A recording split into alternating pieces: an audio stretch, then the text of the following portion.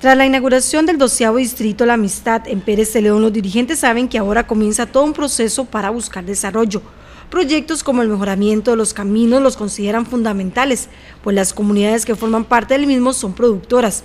También está la construcción de un EVAIS en San Antonio, que permite dar un mejor servicio de salud. Ahora vienen los procesos de convencimiento a la gente de que el desarrollo no debe quedarse acá, sino iniciar un proceso de desarrollo eh, para las comunidades y lógicamente para el centro de población de San Antonio, donde vienen una gran cantidad de proyectos, pero que tenemos que promocionarlos y tenemos que gestionarlos para lograrlos, ¿verdad?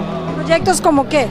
El EVAIS, en primerísimo lugar, está el EVAIS en la comunidad que no lo tenemos y ya se inició un proceso de eso, como mejoramiento de algunas vías de comunicación en caminos, y sería entre esas eh, dos proyectos fundamentales, que, mejoramiento de caminos que es fundamental. A, nivel de distrito todavía no, no, porque viene el proceso, pero sí tenemos unos proyectos de nosotros, que es como cerrar este multiuso, tenemos un muro por ahí de contención que, que se nos está bajando.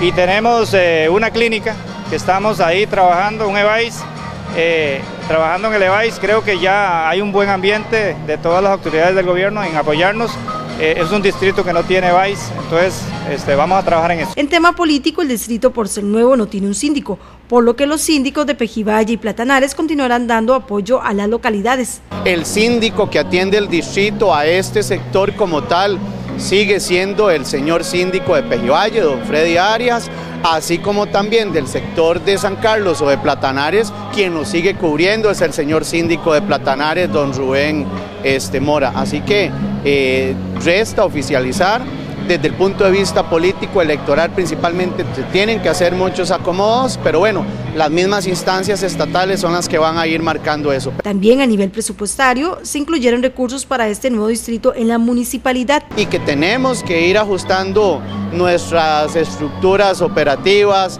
presupuestarias a lo interno de la municipalidad que ya de por sí, eh, al arrancar esta administración y conversando con los señores del Consejo de Distrito, ya se destinaron dineros específicos para este sector de San Antonio o de la Amistad, eh, así como también se dejaron algunos distritos, como para irnos acostumbrando ¿verdad? A la, a, la, a la división territorial que en su momento ya se va a oficializar. Como parte del proceso, las autoridades tienen que trabajar en mapas y demás instrumentos que ubiquen al nuevo distrito de Pérez Celedón.